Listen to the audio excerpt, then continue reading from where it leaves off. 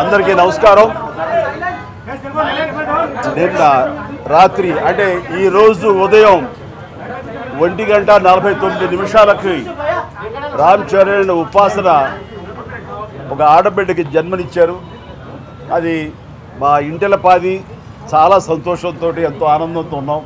అది మీ సమక్షంలో చెప్పడానికి చాలా ఆనందంగా ఉంది. అంటే ఈ ఆడబిడ్డ పుట్టుక మాకు అపురూపం.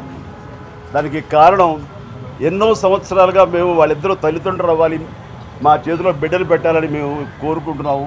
అది ఇన్నేళ్ళ తర్వాత భగవంతుని దయ వలన అందరి ఆశీస్సుల వలన అది నెరవేరింది. అందుకనే ఈ ఆడబిడ్డ జన్మించడం అనేది మాకు చాలా అపురూపమని సంతోషం వెలిపించుకుంటున్నాను ఈ సందర్భంగా ఇతర దేశాల నుంచి ఇతర ప్రాంతాల నుంచి మా బంధువులు మా శ్రేయోభిలాషులు మా సన్నిహితులు మా ఆత్మీయులు అలాగే మా సంతోషమే తమ సంతోషం అనుకునే మా అభిమానులు ఆయా రకాలుగా వివిధ రూపాల్లో మాకు వారి సంతోషాన్ని తెలియపరచడం అనేది చాలా చాలా ఆనందంగా ఉంది.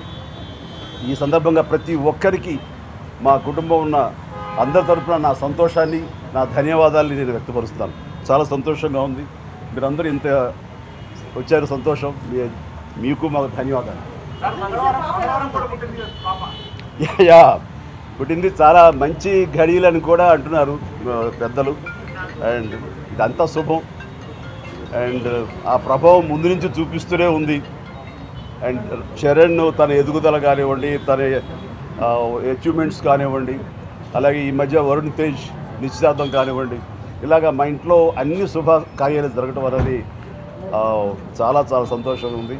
అండ్ దానికి ఈ బిడ్డ ప్రభావం ఉందని అనుకుంటున్నాను. చేయడం మంగళవారం అంటే ఆంజనేయ స్వామికి చాలా ఇది రోజు ఆయన దినం ఆయన నమ్ముకున్నటువంటి మా కుటుంబం అదే మంగళవారం నాడు ఆడబిడ్డని మాకు ప్రసాదించడం అనేది ఇది అపురూపంగా మేము భావిస్తున్నాం. సంతోషం. థ్యాంక్ యూ అండి. Thank you